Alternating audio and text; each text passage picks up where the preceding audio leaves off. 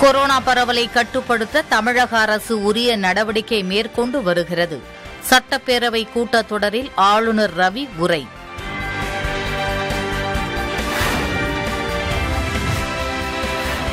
தமிழக சட்டப்பேரவையில் இருந்து அதிமுக வெளிநடப்பு.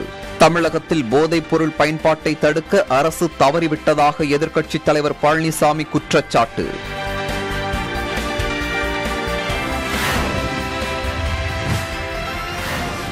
கர்நாடக தமிழக எல்லையில் ஊருக்குள் நுழைந்த காட்டு யானைகள்.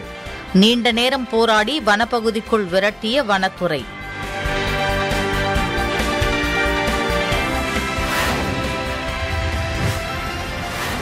தருமபுரி காரிமங்கலம் வாரச்சந்தையில் தேங்காய் விலை குறைந்து விற்பனை. பொங்கல் பண்டிகை வருவதால் வரும் வாரங்களில் விலை அதிகரிக்கும் என வியாபாரிகள் நம்பிக்கை.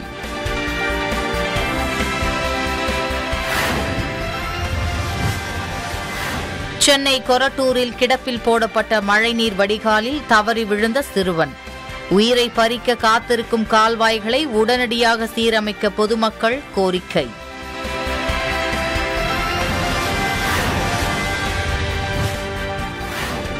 விருதுநகர் மாவட்டம் சாத்தூர் அருகே பட்டாசு ஆலையில் ஏற்பட்ட வெடி விபத்தில் மூன்று பேர் உயிரிழப்பு.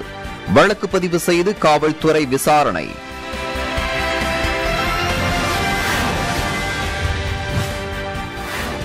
ஆத்தூர் அருகே ஏரிக்கரையில் உடைப்பு ஏற்பட்டதால் விவசாய நிலங்களில் புகுந்த தண்ணீர். பருத்தி உள்ளிட்ட பயிர்கள் அழுகும் நிலை ஏற்பட்டுள்ளதால் விவசாயிகள் கவலை.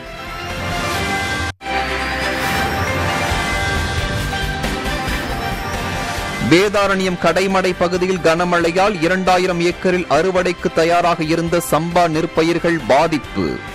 நெல்மணிகள் முளைத்து வருவதால் விவசாயிகள் வேதனை.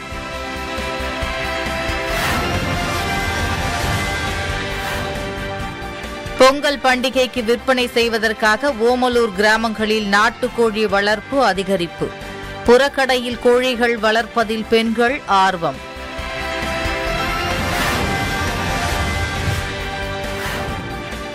நாமக்கல்லில் நடைபெற்ற ஏலத்தில் மூன்று கோடி ரூபாய்க்கு பருத்தி மூட்டைகள் ஏலம். நல்ல விலை கிடைத்துள்ளதாக விவசாயிகள் மகிழ்ச்சி.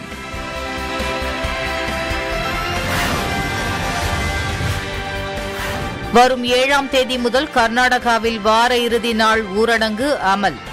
பெங்களூருவில் ஒன்று முதல் ஒன்பதாம் வகுப்பு வரையிலான பள்ளிகள் மூடல்.